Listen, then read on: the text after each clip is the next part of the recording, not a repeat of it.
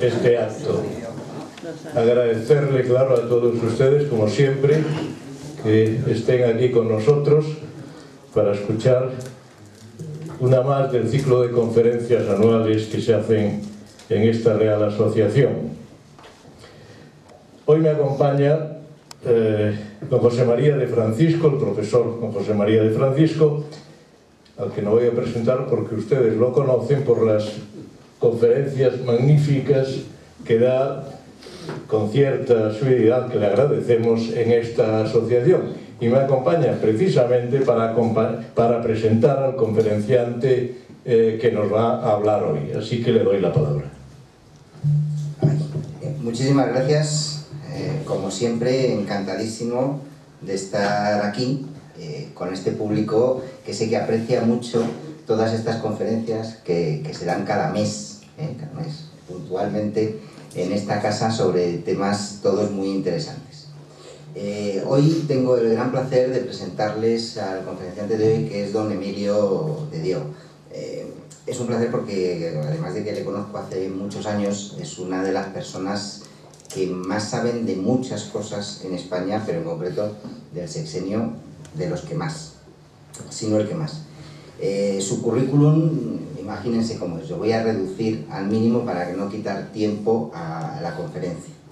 Él es doctor en Geografía e Historia y en Derecho, premio extraordinario de licenciatura y de doctorado. Ha sido profesor en la Universidad de León, pero prácticamente toda su carrera de más de 30 años ha sido en la Universidad Complutense, donde se acaba de jubilar como catedrático de Historia Contemporánea.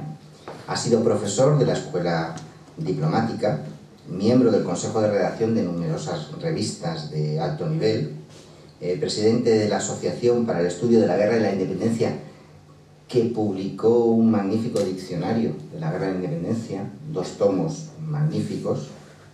Es académico de número y ha sido secretario de la Real Academia de Doctores de España. Es académico de las Reales Académicas de, Reales Academias de la Historia y de Ciencias Morales y Políticas, de la Portuguesa de la Historia, de la de Bellas Artes de San Telmo y de otras instituciones más. Ha sido profesor invitado y conferenciante en más de 30 universidades extranjeras, desde Estados Unidos a Europa, Asia, etc. Y ha colaborado también muchísimo en temas de historia militar, con el CSDN, con el Instituto de Historia y Cultura Militar, eh, etc. Mm, sus publicaciones pues, son incontables y ha presidido numerosos congresos nacionales e internacionales y por supuesto tiene muchos premios y muchas condecoraciones civiles y militares que no es cuestión de detallar así aquí, así como miembro de honor de la American Society of Diplomacy and Political Science. Eh, ya digo que es una persona que les va a contar y les va a contar bien uno de los episodios más interesantes de la historia de España, que es el sexenio revolucionario o el sexenio democrático. Dependiendo de quién lo diga, se dice de una manera o de otra. Una época de cambios profundos, de posibilidades de lo que pudo ser y fue y de lo que terminó siendo pues, algo típico de lo mejor y lo peor de los españoles, de todos contra todos y a ver quién, quién se salva. ¿no? Entonces, en ese, en ese caos hispánico, americano, carlista, europeo, con la guerra franco-prusiana, pues nos va a dar claridad y luz el profesor Emilio de Diego con esta conferencia. Ya no le quiero quitar más tiempo, ya que adelante.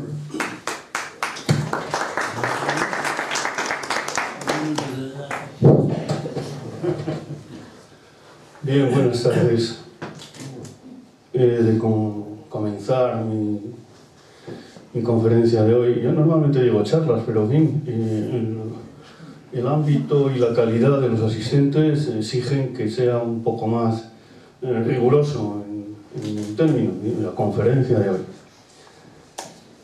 No he tenido la oportunidad de hablar aquí frecuentemente como José María de Francisco Olmos, pero no pierdo la esperanza porque estoy gratamente impresionado.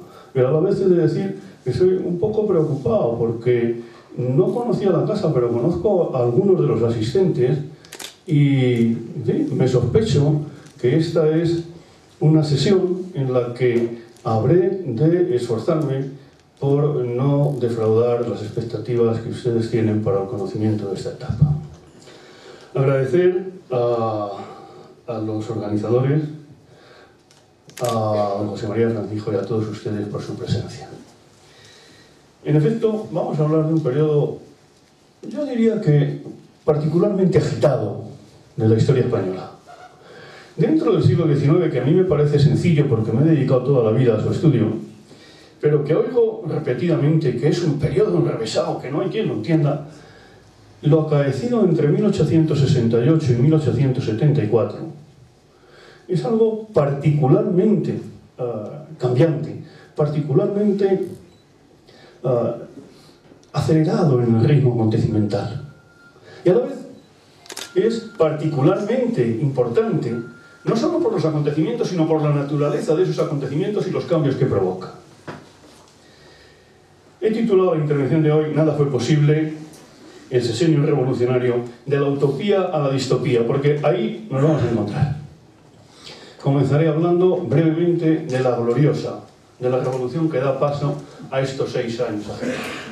Y a partir de ahí, pues iremos viendo cómo van apareciendo, cómo van desarrollándose y cómo van refluyendo en clave de frustración hasta acabar en un fracaso colectivo, no pocas esperanzas que en conjunto podríamos definir como una serie de utopías o como una utopía que abarcara a todas ellas y que se resumiera en la búsqueda de una mayor libertad, de una profundización de la democracia que hasta entonces no ha existido en la España política y, como no, de ensayos de diversas vías para encontrar la culminación de anhelos muy dispares.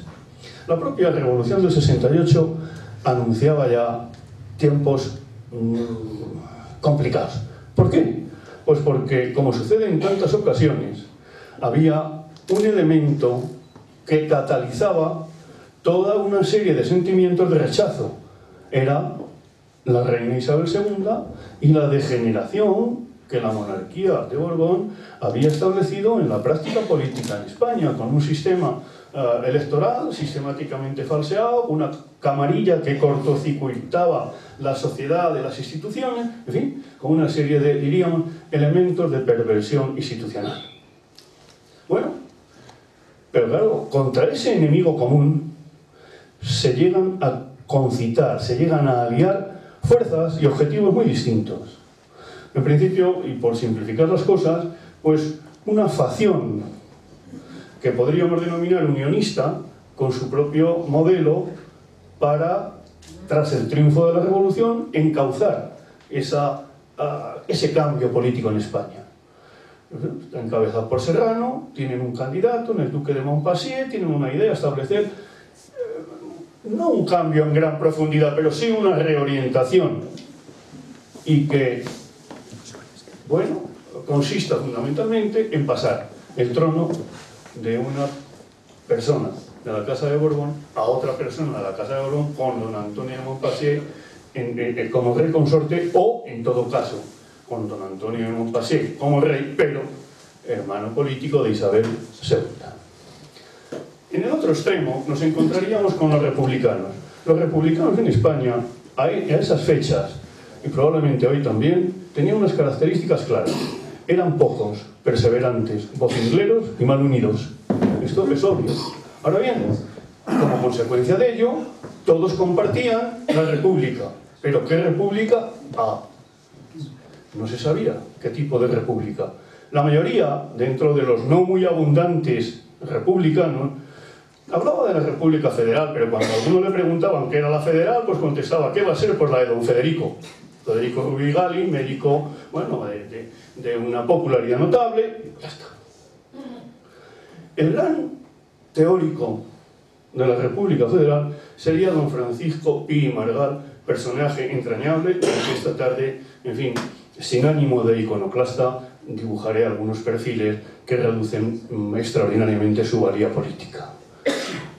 Don Francisco Pi Margal, que era un intelectual de cierto nivel, en el campo de la filosofía y de la teoría política, pensaba que podía construirse una república federal no de arriba abajo, sino de abajo arriba, para lo cual lo primero que habría que hacer sería desmontar toda la infraestructura político-institucional. De manera que de una pieza, el Estado, pasáramos a 9.273 piezas que entonces tenía España, que eran otros tantos municipios. Y a partir de ahí, vamos, con una facilidad que él consideraba pasmosa, a través de un pacto sinalasmático conmutativo, pues ir ya uh, ir construyendo por acuerdo de cada municipio con el otro, el siguiente con el de al lado, este con los otros dos, etcétera, etcétera, la República Federal. Esto de pacto sinalasmático, conmutativo y bilateral, porque le faltaba lo de bilateral, como ustedes comprenderán, al 99,99% de los españoles, incluidos los republicanos de entonces, le sonaba, bueno, pues en fin, a, a, a lo más incógnito que ustedes se puedan imaginar había otros republicanos unitarios, los menos, y luego había un partido uh, monárquico importante, el progresista.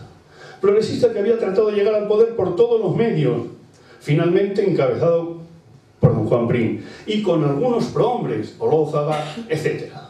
Bueno, todos estos crean un frente revolucionario que en la tarde-noche del 18 de septiembre y la mañana del 19 llevan a cabo lo que se denominó la gloriosa. ¿Bajo qué bandera? ¡Viva la República, viva la... Una cosa muy sugerente y a la vez extraordinariamente amplia para permitir que ahí encajara cualquier voluntad posterior. ¡Viva España con honra! Es decir, había un componente moralizador como denominador común y ninguna especificación institucional. Bueno, arranca la revolución y triunfa. Triunfa con relativa facilidad. Por primera vez, la Marina había tomado la cabeza de la revolución. Un cuerpo, en fin, eh, conservador por naturaleza, etcétera, etcétera. Es la fragata Zaragoza donde eh, Malcampo, eh, como capitán de esa fragata, Topete como hombre de referencia en el ámbito de la Marina y algunos generales, sobre todo con Prim y en cuanto llega Serrano a la bahía de Cádiz, también con Serrano, etcétera, bueno, pues ponen en marcha el movimiento militar que va a dar al traste con el trono de Isabel II con facilidad. El 28 de septiembre, las fuerzas movilizadas al grito de la revolución avanzan hacia Madrid, encuentran a las fuerzas que envía la reina desde Madrid para aplastar esa, insurrección en Alcolea. La batalla de Alcolea no fue un gran hecho de armas, pero suficiente para decidir que la capacidad militar de Isabel II no era suficiente para mantener el trono. Serrano avanza hacia Madrid. Y mientras, por la costa, la Marina, con Prim, curiosamente, como principal referencia, va sumando ciudades, puertos, espacios levantinos al levantamiento, a la insurrección, a la revolución. Bueno, así tenemos como por toda España se viene abajo el entramado isabelino y surgen las juntas revolucionarias se ha hundido toda la infraestructura y surgen algunos órganos que van a tratar de canalizar esa revolución. Por lo general, estas juntas tienen un carácter bastante radical. Y ahora digo radical no en términos de partido, sino en el sentido de posicionamiento más próximo a las posiciones de exigencia de cambio social y político más profundo.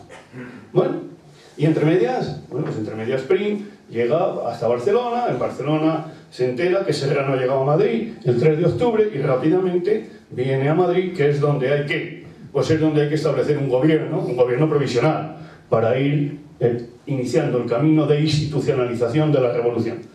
Gobierno provisional que echa a andar el 8 de octubre de 1868 y un problema primero, ¿cómo someter a estas juntas que han tomado el poder? Algunas van a aceptar, eh, obedecer al gobierno eh, provisional con cierta facilidad, pero otras, otras habrá que aplastarlas mano militari, y este es el gran problema en la última parte del año 68 y hasta el año 69, sobre todo en Andalucía, donde el general Caballero de Rodas tiene que aplastar la insurrección de estas juntas en distintos lugares, bueno, em, empleándose militarmente con bastante fuerza. Controlada más o menos la situación, ya a partir de enero se avanza con ese gobierno uh, provisional, ¿hacia dónde? Bueno, pues hará falta definir las normas el marco jurídico-político en el que se va a desarrollar el modelo surgido de la revolución, que todavía nadie sabe lo que es. Hay que hacer qué? Hay que hacer unas elecciones. Se convocan esas elecciones y fruto de ellas surge una mayoría, una mayoría clara, de signo monárquico. 236 diputados, poco más de, 70 eh, republicanos, 28 eh, carlistas, dos, toda una serie de, de cuadros ya más pequeños, pero el triunfo es claro de los monárquicos, de los monárquicos progresistas y unionistas todavía en este momento. Bueno, desarrolladas las elecciones, hay que convocar las cortes, resultado de las elecciones, unas cortes constituyentes. Y son unas cortes constituyentes que van a llevar adelante la elaboración de ese texto que encuadre el nuevo régimen. Es la Constitución promulgada el 6 de junio de 1869. Y ahí ya sí, ahí hay que definir ya dónde estamos. Y dónde estamos con una mayoría monárquica, pues estamos en una monarquía. ¿Pero qué tipo de monarquía? Una monarquía democrática y una monarquía liberal.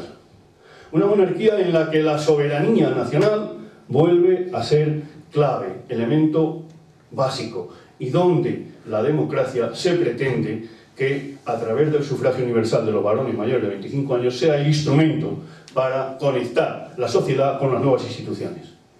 Pero claro, ¿quién es el rey de esa monarquía? Hay que buscarle. Y buscar un rey entonces no es una empresa fácil por intereses internos de los distintos grupos, por la diversidad de candidatos, donde hay uno perseverante. Este, si hubiera sido por el afán en llegar mm, al trono, no cabe que hubiera obtenido el, mejor resultado. Pero claro, tenía suficientes enemigos también para impedírselo. Me refiero eh, al duque de Montpassy. Don Antonio de Orleans era un personaje que concitaba algunas simpatías, pero muchas antipatías. Había financiado la revolución. Sin el dinero del duque de Montpassy no hubiera habido revolución del 68 era por tanto un candidato a considerar. Bien, pero era el candidato de los unionistas, no el candidato de otros monárquicos más numerosos, no era el candidato de los progresistas, no era el candidato de Prim, no era el candidato de la mayoría de los monárquicos, hay que buscar otro. Y entonces empieza un larguísimo recorrido que ustedes me van a hacer la caridad de que no nos eh, enfanguemos en él, pero que pasa por Portugal, con don Fernando de Sajonia-Coburgo, el rey padre, ¿eh? que bueno, pues se pensaba que podía ser una buena opción, una aproximación a Portugal, etc. En caso de que no quisiera, que con buen criterio no quiso porque la situación en España no invitaba a embarcarse en, en aventuras de esta naturaleza, pues su hijo Luis I, eso ya planteaba un problema internacional, cómo se iba a unir España y Portugal en la mar, no, no, imposible. La opción portuguesa, tras varias semanas, meses, momentos, etc., porque este es un proceso cizariante, se tiene que descartar. Lo mismo pasa con Italia, donde el duque de Génova, primero, y el duque de Aosta, también, primero Aosta, luego Génova, luego Aosta, pues no acaban de eh, aceptar. No acaba de verse claro. Entre medias, hombre, pues una candidatura prusiana, ¿por qué no? Un poco de segunda fila, los Hohenzollern sin eh, don Leopoldo. Bueno, pues si traemos a don Leopoldo, nos situamos en una posición internacional relativamente favorable y a la vez tenemos un monarca que no plantea estos problemas de Unión Ibérica, sí, claro, claro, pero la rivalidad franco-prusiana hace que esto tampoco sea posible. Entonces, ah, entonces, pues contactamos con algunos príncipes daneses y hasta con algún noruego. El resultado es aquello, no. El último movimiento, cuidado, cuidado, ¿eh? estamos hablando de casi dos años, año y medio, para encontrar un rey. Desde junio del 69, aunque ya había habido tanteos previos, hasta diciembre del 70, noviembre la elección, diciembre el viaje para traerle y 1 de enero del 71 que viene a España finalmente el nuevo rey, Amadeo de Saboya. Amadeo de Saboya cumplía las condiciones de adaptarse a una monarquía democrática y liberal. Tenía en contra, eso sí, aquí se le conocía poco, sus vinculaciones con el ámbito de la masonería, el hecho de que su padre eh, hubiera sometido a los estados pontificios al control de la corona italiana y por tanto fuera enemigo de la Iglesia-Estado, no le favorecía. Y no dejaba de ser un rey extranjero al que aquí no conocía prácticamente nadie. Bueno, pero ya se había resuelto la cuestión.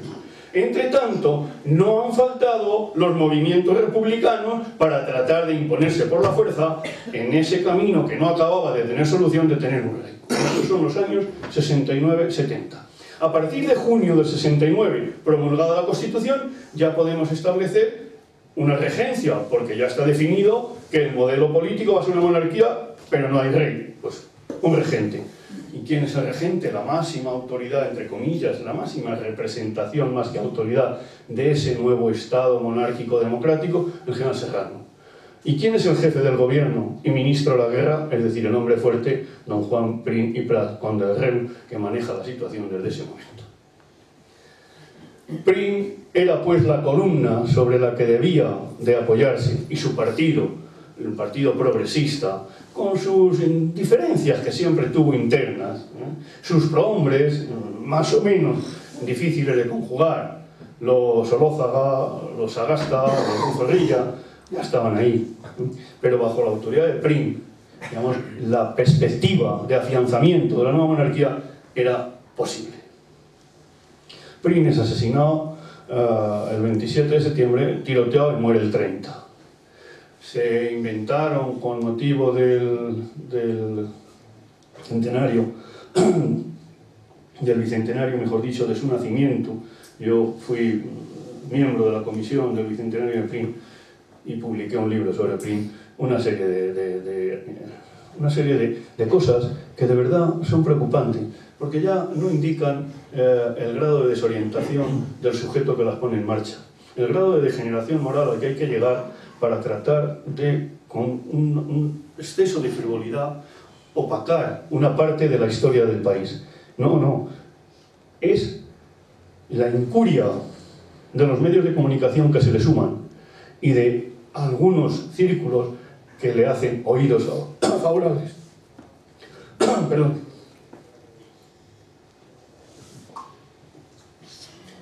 Don Juan Prim murió de los trabucazos recibidos en la calle del Turco. Hay todo tipo de documentación, de informes médicos, etc. Bueno, pues entonces se ocurrió primero que había muerto apuñalado. Como no tenía señales, pues hubo que librarle de la pena de muerte por apuñalamiento, pero le aplicamos la de estrangulamiento porque tenía unas marcas en el cuello. Cadáver embalsamado, se había hinchado, tenía un cuello de plástico, en fin, unas cosas que estaban perfectamente conocidas para cualquier médico, pero eso no interesaba. Entonces se puso en marcha el bulo de que a Prim le habían estrangulado. Pero hombre, ¿dónde le iban a estrangular? Si llegó a casa y tal, ah, en la cama. Y, mm. Oiga, si en el, gente vivía en el Palacio Buenavista, no, no importa. Allí llegó Serrano un día que no tiene otra cosa que hacer, lo estranguló. Mire usted, estas cosas lo que indican es el desconocimiento y la falta de respeto por la historia de su propio país, de tantos y tantos españoles. Yo creo que es una necesidad perentoria que conozcamos nuestra historia. Anécdotas desgraciadas aparte, la muerte de Prim dejaba a don Amadeo al intestate. Amadeo I intentó ser rey de España. En su discurso, en abril, a las Cortes, en 1871 decía, desde que pisé suelo español, quise ser el rey de los españoles, quise ser el rey que la nación quería. A Amadeo de Saboya le habían elegido las Cortes por 191 votos, Claro, sus enemigos decían que era el rey de los 191. Toma, claro. Pero es que mientras todos los republicanos juntos volvían a tener 60, 191. Pues sí. Era el rey que tenía mayor respaldo político en ese momento, en el panorama español. Pero era ese rey que tenía que hacerse agradable a los ojos de la población de un país al que llegaba. Y eso no era fácil. Él se desvivió. ¿no? Acudía a los toros, cosa que como ustedes comprenderán a Saboya al principio pues no sé qué le parecería, pero él iba a los toros. Eh, iba al teatro, paseaba por Madrid, se dejaba ver, buscaba una proximidad, estaba en todos, ahora se dice eventos, pues en todos los eventos aparecía Madre de Saboya. Y no solo estaba él, estaba la reina María Victoria, que además, cada uno por separado y conjuntamente, realizaron numerosas obras benéficas de cierta trascendencia incluso. Un asilo para los ciegos, unas instituciones para proteger algunos eh, algunos sectores laborales, por ejemplo, las, las lavanderas, de manera que la reina Victoria la llamaban las reinas lavanderas. Bueno, en cualquier caso, no acababa, era difícil. ¿Por qué? Porque el partido alfonsino esperaba la caída de, eh, de Amadeo Saboya para volver a la restauración de los Borbones. El partido monárquico español alfonsino esperaba su oportunidad. Había que erosionar la figura de Amadeo Saboya. Más, Amadeo Saboya empezó a encontrar pronto la verdadera dificultad para gobernar. Nombró un gobierno de conciliación al llegar que estaría integrado por quién? Por unionistas, progresistas y demócratas, la frontera con los republicanos. Y le encarga ese gobierno a, quien, a había sido regente. Es decir, actúa con una lógica política claramente acertada. Pero ese gobierno de conciliación con Serrano al frente pronto empieza a encontrar la enemiga de gentes como, ah, pues como Ruiz Zorrilla, que es el, el sector, diríamos hoy, en topología política, la izquierda del progresismo. Empieza a encontrar, eh, cómo no, la enemiga de Sagasta, que es la derecha del progresismo. Empieza a encontrar, bueno, el desafecto de los demócratas, que están al otro extremo que los unionistas. Y esa amalgama de fuerzas que había traído la monarquía pudo, y que pudo soportarla, se va deshaciendo. Los problemas continuos, los afanes de protagonismo, de personalismo constante, darán paso a siete gobiernos en apenas dos años. Hago gracia también de no relatarles los siete gobiernos de todo este periodo, porque entonces no acabaríamos nunca con el sesenio.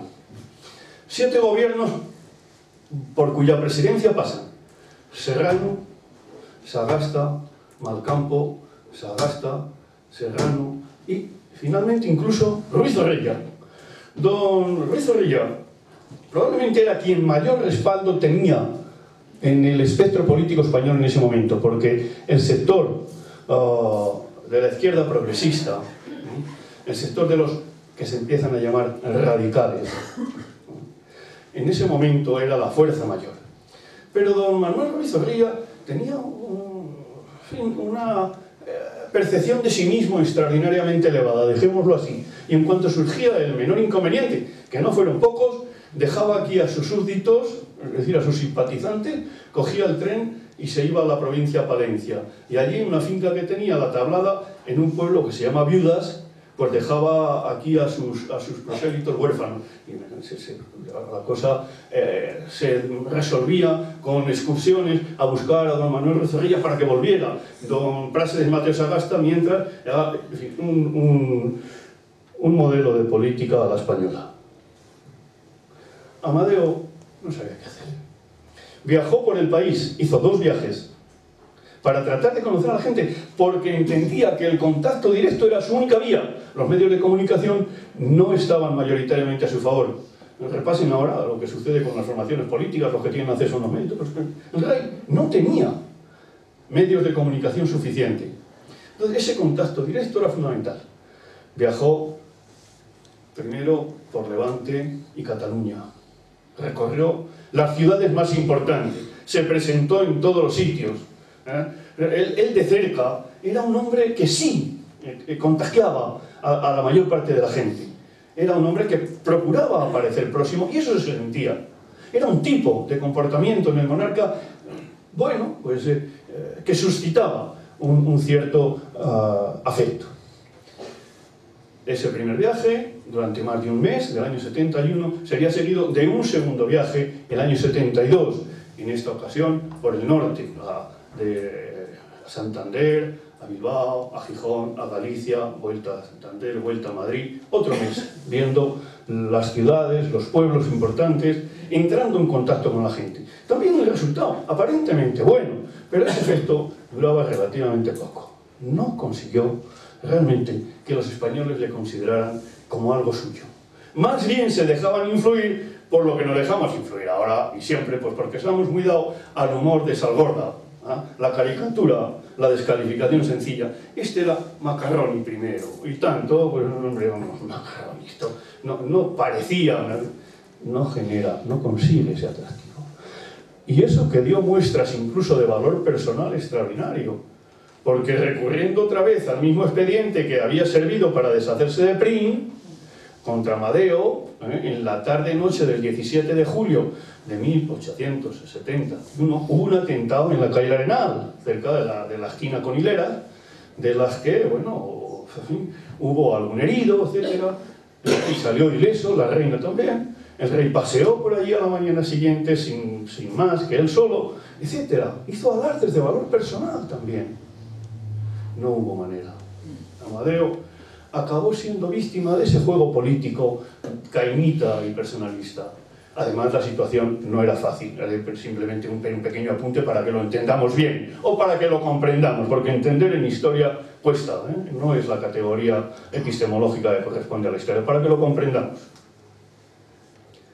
La hacienda. Miren, ahora que estamos en una hacienda, en fin, con sus problemas, que estamos con los presupuestos, el presupuesto del año 71-72 preveía unos ingresos de 467 millones de pesetas. El servicio de la deuda necesitaba ese año 328 millones, el 73%. Es decir, que quedaba el 27% para mantener la Y si no, el recurso, pues eso, a nueva deuda, ¿eh? a unos empréstitos extraordinarios. Sí, para el año siguiente, al año siguiente, año 72-73, que es en parte el presupuesto que va a heredar, pero los presupuestos se heredan de vez en cuando, que va a heredar la República para el primer ejercicio preveía unos ingresos de 468 millones de pesetas, pero unos gastos ligeramente superiores para el capítulo del servicio de la deuda, el 81% de los ingresos. Con eso, desde julio del 72, los carlistas en armas, es decir, comenzando una nueva guerra carlista, la guerra en Cuba, que había empezado en el 68, algún que otro alzamiento republicano, y el panorama político con el que se encontraba entre los que debían ser sus gobiernos, el gobierno de su majestad, hay veces que no parece que sea el gobierno de su majestad. ¿El resultado? Pues es evidente. Amadeo de Saboya acabó cogiendo a su familia, yendo a la estación y marchándose de España con bastante disgusto y no poco alivio.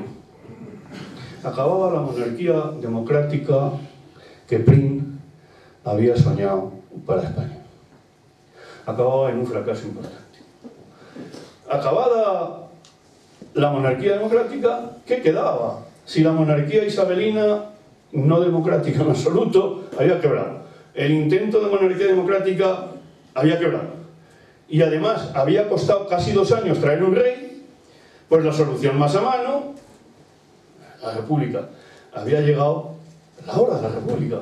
Y en una asamblea jurídicamente irregular, en una asamblea en la que Rivero, que es presidente de las Cortes, hace mangas y capirotes y contra, contra la propia Constitución, bueno, reúne juntos al Congreso y al Senado, votan la implantación de la Primera República. La Primera República vino de la mano de los políticos monárquicos desleales. Lo diría Castelar clarísimamente. Luego lo trató de disfrazar Castelar, diciendo que no había venido de la mano de los republicanos, que él había traído la naturaleza, la historia. esto es retórica de don Emilio, pero lo cierto es que la Primera República la trajeron los políticos monárquicos. Curiosa, república, que seguía sin identificarse si iba a ser niño o niña, es decir, unitaria o federal. Pero en cuestiones de sexo eh, referente a la República pasaba lo que ahora se predica de que ya veríamos con el tiempo. Pero bueno, esto no, no parecía una solución, sino más bien una emoción. Se elige un gobierno, se constituye una asamblea prolongación de las cortes anteriores y echa a andar la Primera República. Bajo la presidencia de don Estanislao Figueras al frente del poder ejecutivo de la República. La Primera República en España no tuvo más que un presidente, ¿eh? el general don Francisco Serrano Duque de la Torre en la etapa epigonal de algo que ya en sustancia había dejado de ser la República, pero seguía etiquetándose como tal. Los otros cuatro anteriores, incluso el que estuvo a punto de ser el quinto, don Eduardo Palanca, ninguno fue presidente de la República como título, porque el poder estaba en la Asamblea. hoy que la supremacía del Ejecutivo mm, maneja los demás poderes, nos cuesta quizá comprender esto, no. En ese momento de 1873, todo el año, el poder está en la Asamblea y luego en las Cortes nuevas que se van a elegir a partir de mayo de 1873. Por tanto, presidente del Poder Ejecutivo. Muy bien. Bueno, don Estaño Figueras protagoniza el primer tiempo de la Primera República, que se escenifica entre la comedia y la tragicomedia. Tiene más de comedia, pero apunta a tragicomedia, porque esto es el 11 de febrero. Y en medio del gran entusiasmo, ya el 12 de febrero, en Montilla, la cuna del gran capitán, de donde, salía con el, donde saldría con el tiempo un bachiller preclaro, pues claro, tenemos unos incidentes que acaban con algún asesinato, el incendio de varias casas, bueno, habían pasado solo unas horas. Eso no era la, la comedia, eso era el punto de tragicomedia que se mezclaba. Pero en la comedia estaba que inmediatamente después la Junta Revolucionaria de dos hermanas declaraba suspendido para siempre el Concilio de Trento. Es una medida que yo no alcanzo a ver la eficacia, pero quedaba bien. De estos eh, alardes está llena eh, la historia de las, las anécdotas de la Primera República. Parodiando esto al extremo, don Benito decía, todo el año es carnaval. Bueno, todo el año no fue carnaval. Aquí la comedia tenía más protagonismo, pero, pero la tragedia asomaba cada poco. Por descontado, que el propio 12, en Barcelona, la Diputación trató de implantar el Estado catalán. Unos días después otra vez, y hasta muy primeros de marzo otra vez. Tres veces en, pocas semanas. Menos mal que don Estanislao, con su prestigio, un aura de respeto importante, tenía una autoridad, eso que ahora en los políticos no es tan fácil de encontrar, una autoridad importante, viaja a Barcelona y solo con su presencia consigue de momento detener aquella intentona de establecer el Estado catalán en Barcelona. Don Estanislao, con una hacienda en quiebra, con un ejército totalmente indisciplinado, que además había abolido las quintas, la matrícula de mar, etcétera, que no tenía manera de reclutar personal. Las mismas guerras de las que he hablado con salvo el, primer, pequeño episodio carlista iba a menos después del convenio de Amorebieta, una cosa latente queda, pero la guerra en, Cuba allí sigue importante. Y los intentos de insurrección desde el primer momento aquí también. ¿Y cómo aplastar esto si tenemos un ejército en el que los soldados no obedecen a los, a los Es complicado. No tenemos los resortes de poder. Don Estanislao Figueras se fue desgastando enormemente. Aquello no era lo que él pensaba. Y la muerte de su esposa en abril de 1873 le llevó a dimitir, a abandonar el gobierno y a tratar de, de volverse a su casa. Bueno, tras un duelo acelerado, no se lo consintieron y con la presión de Pi, la exigencia del propio Castelar, que había sido ministro de Estado y hombre fuerte de ese primer gobierno, etcétera, etcétera, consiguió superar la crisis de 23 de abril en la que se vienen a manifestar ya un enfrentamiento claro entre el sector que llamaríamos de la izquierda republicana y el sector de la derecha, por mm, denominarlo de una forma simple, vuelve a aceptar la presidencia. Y así a trancas y barrancas se celebran las elecciones en mayo, se convocan las cortes y se pone en marcha la república, ah, por fin, la federal. La federal declarada por un marqués, el marqués de Albaida, con José María de Orense. Pero la verdad es que visto así, y yo estoy, bueno, quizá eh, atizando un poco la nota irónica, pero es la realidad. Don José María de Orense, marqués de Albaida, a aquellas alturas más sordo que yo, con menos vista que yo, que ya es decir, y, en fin, un poco desquiciado de las, las seguía siendo un santón republicano. Y sin encomendarse a nadie, porque las Cortes no habían tenido tiempo de aprobarlo, aunque tenían mayoría federal y lo aprobarían después, él proclama la República Federal. Esto a, a Figueras le parecía lo último.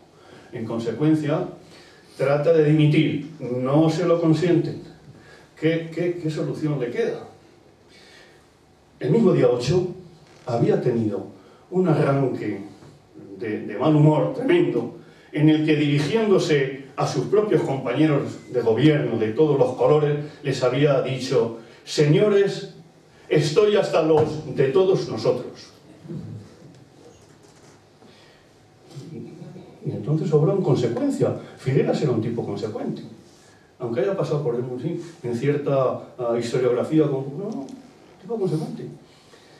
Avisó a su cuñado que le llevara la maleta con sigilo a la estación del mediodía, salió de su casa de paseo por el retiro, llegó al mediodía, la maleta ya estaba en el tren de Francia, se montó y de esta manera amaneció al día siguiente en Francia sin que aquí se hubieran enterado. Y cuando a la mañana del día 10 de junio se preguntaron dónde estaba don Estanislao Figueras, por don Estanislao Figueras estaba en Francia. Se tomó un respiro, porque tardó unas cuantas semanas en volver y ya no al, al cargo precisamente, pero fue la única manera que tuvo el hombre de salir de aquella tragicomedia. Empezaba el siguiente tiempo, el de Pi y Margal. Don Francisco Pi y Margal demostró unos niveles de incompetencia política difíciles de superar, pero nunca podemos decir mm, si son insuperables. Don Francisco Pi y Margal había inducido a través de esa formulación teórica del pacto sinalagmático conmutativo bilateral a construir la República Federal de abajo arriba. Entonces, en cuanto que se proclamó la federal, pues, pues claro, cada pueblo, o muchísimo por lo menos, se declaró soberano. Muchos independientes, bueno, independiente llevaba a Málaga desde febrero, la cosa era un desastre total. Pero claro, no era un desastre total solo uh, en, clave, en clave cómica, no, no, no. Es que aquí habíamos tenido ya 29 muertos cuando el cantón de Sevilla ataca a Utrera. Habíamos tenido bastantes más, treinta y tantos muertos en los sucesos de Alcoy. Empezábamos a tener muchos muertos. Y el, el gobierno, en manos de don Francisco, totalmente incapaz, porque no tenía medios y porque no estaba dispuesto a tenerlos. Eso sí, mandaba unas alocuciones a sus fieles, como podría hacer cualquier autoridad religiosa, a los creyentes.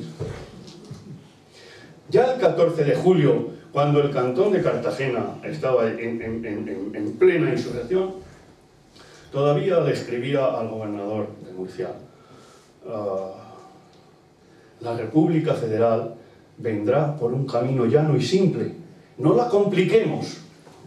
Esta era la solución, no la compliquemos. El no la compliquemos hace que el gobierno no tenía la menor capacidad operativa.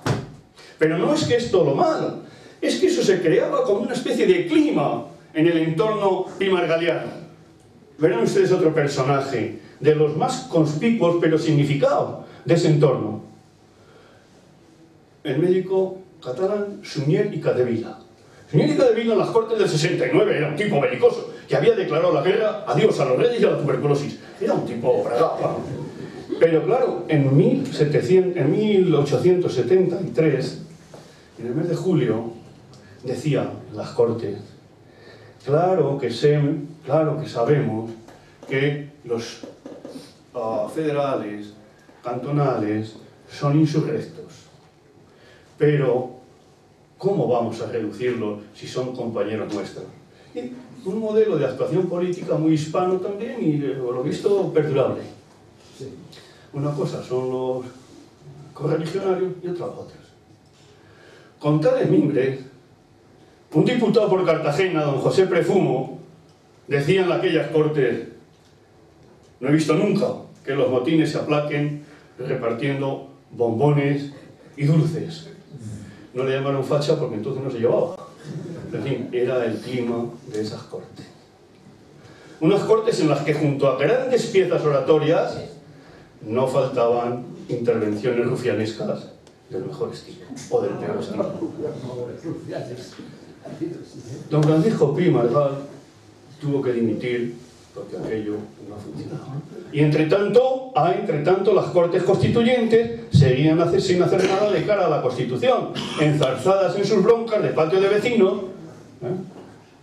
con abandono, retiradas, llegadas de diputados, etc. El país ahora ya sí que estaba en clave de tragedia por la violencia de algunos levantamientos cantonales. Todo ello en medio del sobresalto del país. ¿Qué es esto? No haré relación de tantos, me centraré un poco en Cartagena. Lo de Cartagena lo llamó Ricardo de la Cierva tragicomedia huertana. Yo creo que no.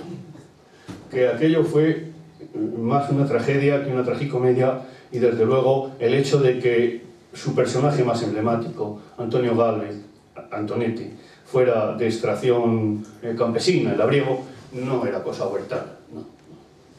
En Cartagena había más de 12.000 hombres, había varios barcos de la Armada, pues en principio uh, la Victoria, que lo perdió, la Numancia, que se perdió, la Almansa, la Tetuán, la Méndez Núñez, uno de los buques más importantes de la Armada. Un cañonero, Fernando Católico, al que rebautizaron, claro, Roque Barcia, en fin, eh, una fuerza naval importante. Bueno, no era pequeña cosa. Resumo la cuestión. En 185 días que duró el cantón de Cartagena, aquella armonía sobre la que íbamos a construir la República Federal se tradujo en lo siguiente. El cantón de Cartagena pidió la anexión a Estados Unidos, porque la patria nos iba a tocar. Amenazó con declarar la guerra a Alemania, muy solemnemente. Sus barcos fueron considerados piratas, detenidos por una fragata alemana, a Federico Carlos, una cosa bochornosa. Era un loco. Hubo cientos de víctimas y la ciudad, tras el bombardeo final al que hubo que someterla por López Domínguez para conseguir la rendición, quedó destrozada en gran parte. Mayor ejemplo de paz, fraternidad y armonía es difícil de conseguir en 185 días, o no es una mala marca. El sometimiento de la insurrección cantonal había empezado con el tercero de los presidentes del Poder Ejecutivo, don Nicolás Salmerón. Salmerón fue capaz de conseguir algunos recursos económicos para llevar a cabo una acción militar. Entregó el mando del ejército a los jefes militares más destacados, a Maquena, Turón. Turón fue el único general que murió sin sublevarse. Una rara avis del ejército español de ese tiempo, el único. Y así consta en, en la historia. No se sublevó, nunca. Bueno, ¿quién más? Pues Martínez Campo. ¿Quién más? Pues luego más adelante, con Castelar ya, el propio López Pinto, Maquena, etc. Resultado, empezó una cierta actividad. ¿Pero qué hacía falta? No solamente hacían falta algunos recursos económicos, mandos militares eficaces, alguna movilización, movilizó a algunos miles de hombres, de reservistas, hacía falta que hubiera disciplina. Y para imponer la disciplina, hacía falta la aplicación del Código Militar. Es decir, el que pudiera aplicarse la, pena de muerte en casos de eh, graves delitos en campaña. Eso no. Don Nicolás Salmerón era un ejemplo de krausobuenismo acabado. Y entonces, hasta ahí habíamos llegado. Ese fue su límite. Mm, dimitió, no por no firmar sentencia, no antes de aprobar que se aplicaran las ordenanzas militares. Llegó entonces el último presidente del Poder Ejecutivo, don Emilio Castelar. Para poder actuar con un mínimo de solvencia, cerró las Cortes. Y tras cerrar las Cortes y obtener de esas mismas Cortes unos poderes extraordinarios, fue el hombre que llevó a cabo el sometimiento de los distintos cantones. Cartagena ya caería en enero del 74, unos días después de que cayera el propio Castelar. Porque cuando Castelar vuelve, tras el periodo que le habían concedido las Cortes, el 2 de enero de 1874, a abrir la Asamblea, la votación sobre lo que había hecho, es decir, es un voto contrario a la gestión realizada y por tanto tiene que dimitir. Votan contra él prácticamente todas las fuerzas republicanas, excepto los republicanos de derechas y los monárquicos que había todavía en aquellas cortes. La dimisión de Castelar significa la entrada de nación de Pavía.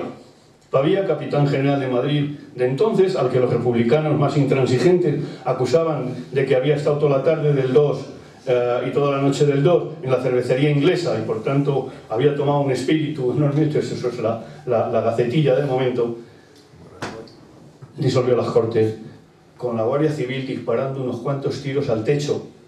¿Qué cosa? Por detrás de la presidencia, por el pasillo.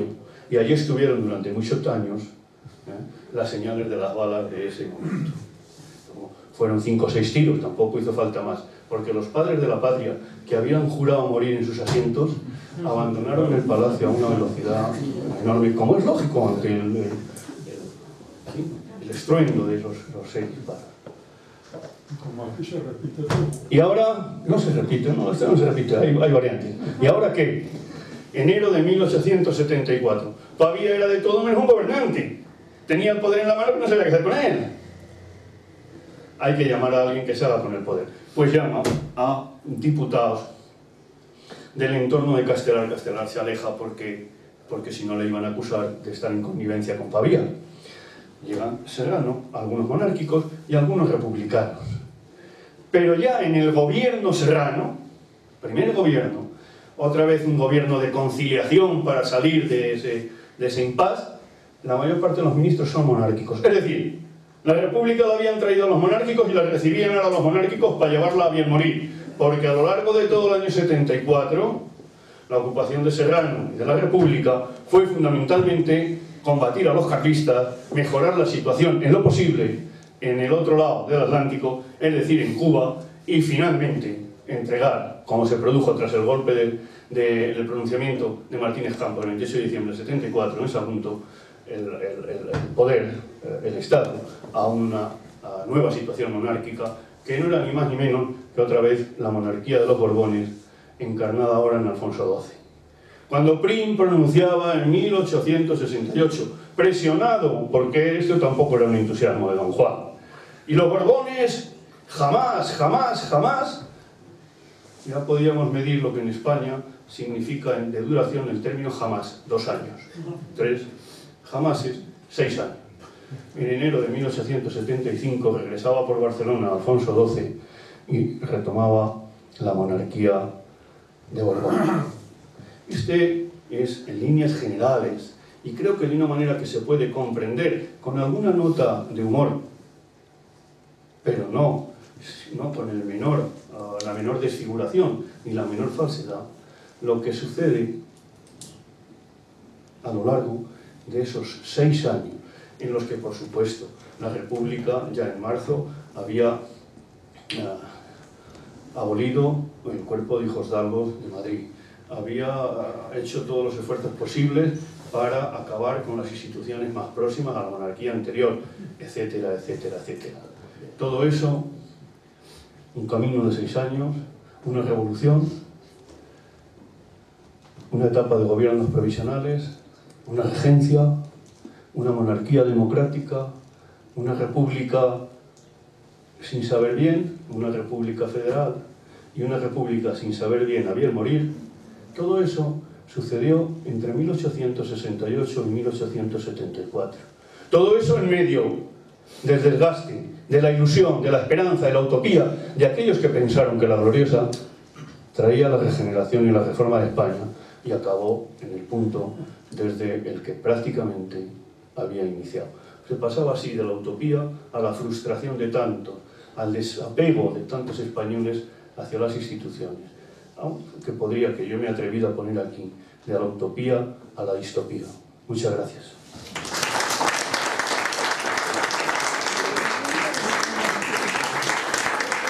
Pues muchas gracias, realmente una extraordinaria conferencia que nos ha entusiasmado a todos y vamos a tener ahora un turno de preguntas o intervenciones.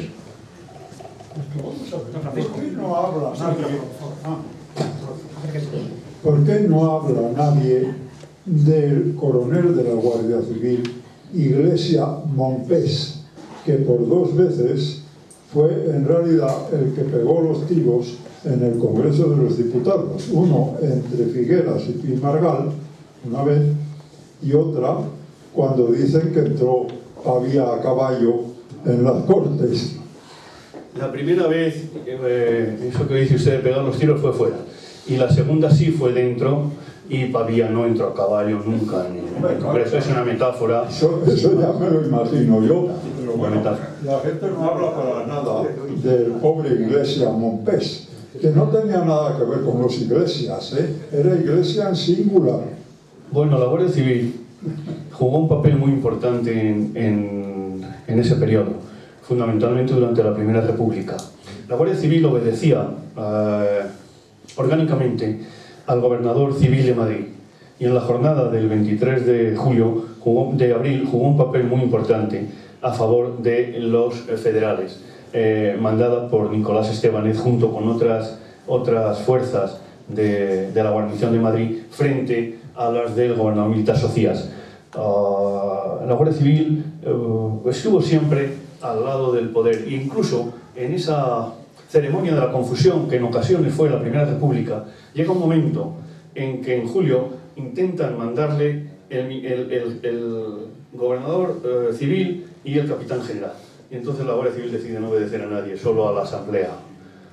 Ah, Ese es uno de los momentos en que demuestran el, el buen criterio de, de la Guardia Civil en ese, en ese momento. Eh, por lo demás, resultó una fuerza decisiva en, el- en- en- fin, a- a reducir algunos motines, tanto en Madrid, que hubo como fuera de Madrid. Cuando llegó al poder Serrano, hubo algunos incidentes también, ya en el año 74, entre los republicanos más radicales conscientes de que se acababa la república que ellos habían soñado. Y ahí sí que se lleva la palma, por ejemplo, una ciudad como Valladolid, donde hubo unas alteraciones que se saldaron por lo menos con tres muertos. Eh, en Barcelona también algo. Y como no, Málaga. Málaga eh, tenía una acreditadísima tradición a lo largo de todo el siglo XIX de ciudad revolucionaria y bullanguera. sin- sin más.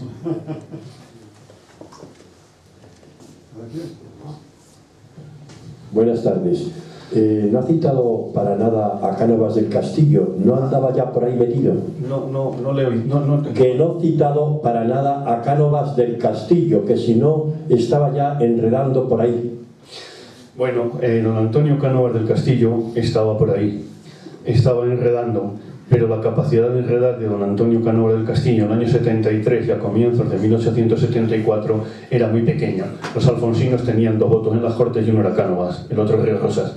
Pero la cuestión es la siguiente, es que don Antonio Cánovas del Castillo sí está en la reunión que convoca Pavía para constituir un gobierno en enero del 74 y con buen criterio considera que allí él no pinta nada, agradece que se le ha invitado y se va.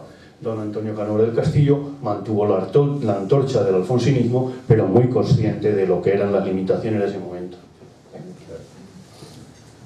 Sí, había también otro posible... Ah, gracias. Y también hab- había otro posible eh, pretendiente que era el duque de Sevilla, al que el duque Montpensier se lo quitó del medio. Pero don Enrique era un pretendiente a la propia manera de don Enrique. Es decir, don Enrique nunca tuvo la menor posibilidad. Es como si yo me postulo de delantero centro del Madrid. Eh, más bien, no. Don- lo que sí que influyó don Enrique fue en la impopularidad de don Antonio María cuando en el duelo en Carabanchel pues resulta muerto don Enrique. Claro, eso vino ya. Porque don Enrique que era un poco calaverado y, y- y- desde luego un, un- un individuo, bueno, pues eh, comprensible, pero, pero necesariamente no imitable. eh, contribuyó al descrédito, a ese precio tan alto de, de- de- su propia vida de Antonio María de Orleans. Se consideraba enemigo de él en todos los órdenes y sentidos. Se ajustó un duelo a, primera sangre. Fue un accidente probablemente también, pero el hecho cierto es que en aquella mañana a los carabancheles fueron dos y volvió uno. Don Emilio, eh, durante la revolución de 1800 1808 eh, se inicia, algunos republicanos empiezan a actuar. Lorenzo Calvo de Rozas ya a partir de esa época empieza a destacar un poco después como un republicano destacado. Y el republicanismo, eh, quería, a ver si nos puede explicar cuál es el proceso entre 1812 aproximadamente y la aparición de la Primera República el proceso de formación del republicanismo en España y un poco la derivación hacia el nacionalismo catalán que hemos hablado, que también se establece el Estatuto catalán eh, durante la Primera República. Bueno, eh, republicanos eh, con anterioridad a los años 40 del siglo XIX en España hay mm, muy pocos y son más bien republicanos teóricos, bueno, personas que pueden emplear el título de republicano, no hay ninguna fuerza política importante. El primer partido republicano, aunque no se intitula así, con cierta eficacia, surge en el entorno del 48, no del 8. Es el Partido Demócrata que estudió bien un catedrático de Santiago de hace muchos años, ya fallecido, se llamaba Antonio Eira Rebel, el Partido Democrático. A partir de ahí sí, a partir de ahí sí. Y además hay una serie de actuaciones uh, de personajes republicanos, Garrido, etcétera, en, en, esos años 40 y en torno a la, a la revolución del 48. A partir de ahí aparecen sistemáticamente y van, eh, van encarnándose eh, en, la sociedad española, siempre en número mmm, no muy reducido. ¿Por qué tenía capacidad de movilización social el republicanismo después, a partir de cierto momento? Pues porque incorpora un fortísimo componente social. Y parte del campesinado y parte de los eh, trabajadores industriales creen que el republicanismo es la solución a sus demandas sociales.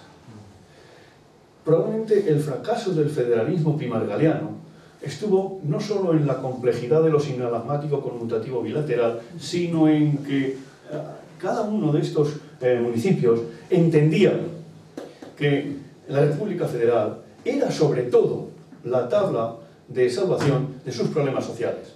De hecho, los cantones que tenían media entidad enseguida hicieron dos cosas. Tratar de abolir la, la propiedad privada, implantar un, por lo menos un alto grado de propiedad comunal, acuñar moneda. El cantón de Granada le faltó tiempo para acuñar moneda.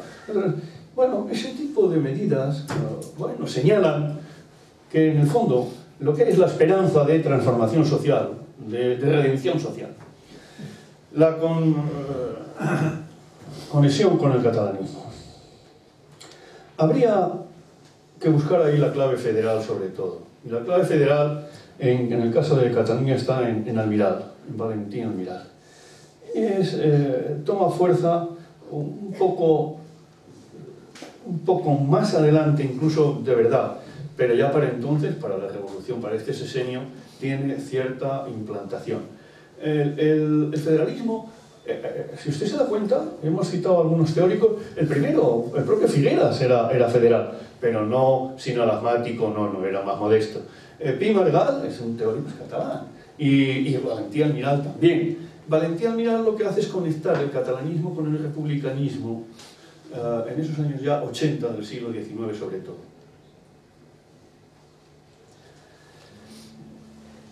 ¿Alguna pregunta más? Yo quiero decir solo una cosa final, que bueno, el sexenio fue lo que fue, pero también trajo cosas buenas y cosas que nos han llegado casi a nuestros días. Son los que crearon la peseta, los que crearon el escudo nacional. Perdón. Ah, que la tienes entendido, perdón. Bueno. Y, y, sobre todo yo quería preguntar, porque creo que es un, un, algo que, que, fue bien hecho, pero que no pudo desarrollarse. Por lo menos lo que decían los europeos de la época, la Constitución del 69 fue de lo mejorcito que había en, en, en la época. Lo que pasa es que no le dio tiempo o no se quiso llevar adelante. Bueno, yo creo que esas observaciones son, son atinadas, pero eh, se deben de, de, aclarar un poco, probablemente. La primera, la creación de la peseta la hace un gobierno PRIM con, con Laureano Figueroa en el Ministerio de Hacienda. Eh, entraba dentro de la lógica de crear una especie de moneda nacional y una especie de moneda en conexión con el resto de las monedas europeas. Peseta es una palabra catalana y significa un peso pequeño, etcétera, etcétera. Todo eso lo sabes tú perfectísimamente. La otra cuestión eh, es el, uh, el problema del liberalismo y del proteccionismo durante esa etapa de la revolución y en especial en el año 69-70, en el periodo de Prim, cuando el liberalismo ha triunfado en gran parte de Europa después del, del acuerdo del pacto Code-Chevalier de 1860, cuando el liberalismo se va imponiendo en Madrid a través del Ateneo, con Gabriel Rodríguez a la cabeza, de toda una sesión de comunistas importantes, como. Bueno, el hecho es que en efecto hay cosas que aquí no hemos entrado de ese, en ese ámbito. La Constitución del 69, la Constitución es una de las constituciones más avanzadas de su tiempo, probablemente incluso demasiado avanzada. Y la Constitución y los demás eh, textos legales que surgieron, bueno, pues sí, llevaron adelante medidas importantes. La secularización de los cementerios, el reconocimiento del divorcio, el esfuerzo por separar la Iglesia y el Estado de una manera eficaz, y más adelante incluso, incluso en 1870, aunque entra en vigor en enero del 71, pues el registro civil, por poner un caso. Pues claro que hace una serie de cosas, pero en la práctica todas estas cosas apenas entraron en vigor. ¿Por qué? Pues porque el, el calor del momento estaba más en la emoción del levantamiento cantonal.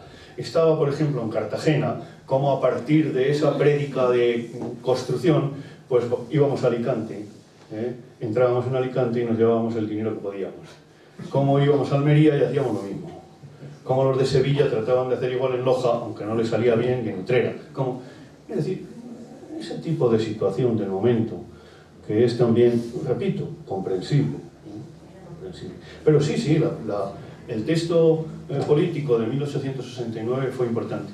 No así el de 1873, que se presentó el proyecto en las Cortes el 17 de julio del 73, pero nunca acabó de, debatirse ni de aprobarse, entonces podemos considerarle una constitución federal non nata también como la del 56, esas cosas que tenemos en la historia del constitucionalismo español.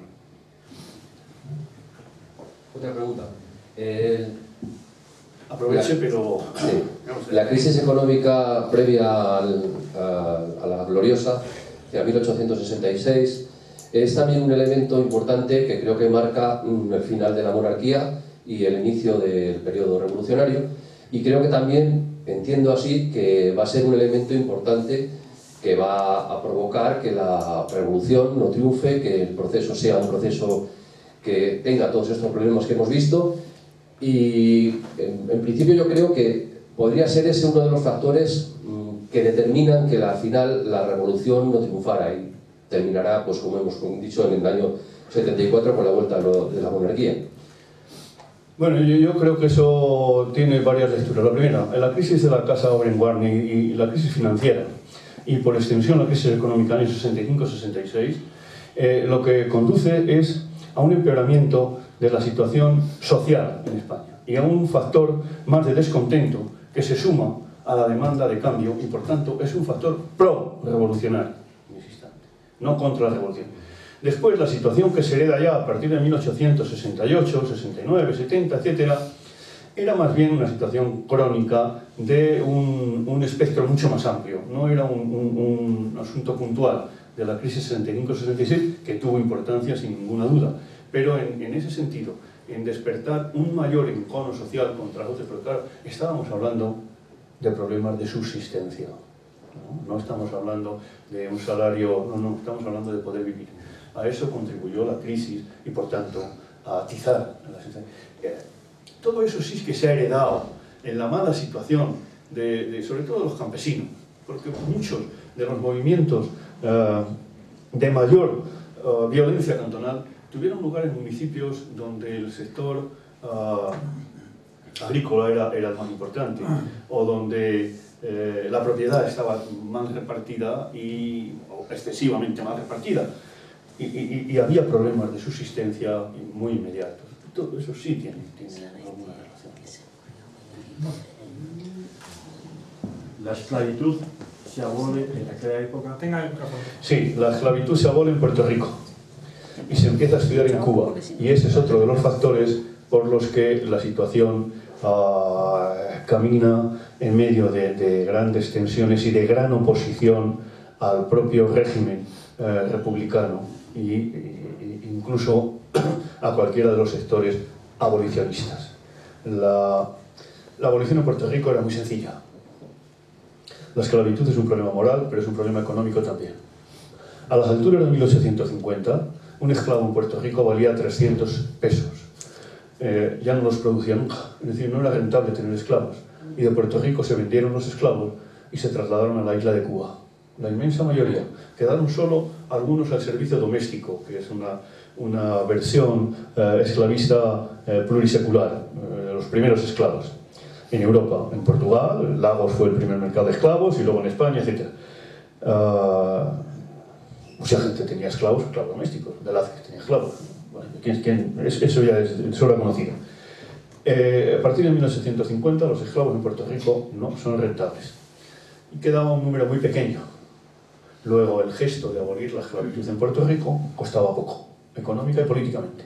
Otra cosa era en Cuba, donde la estructura de propiedad la explotación azucarera, etcétera, etcétera, y el tabaco, el café, los productos de la isla, demandaban y hacían rentable todavía a, a, a, ¿eh?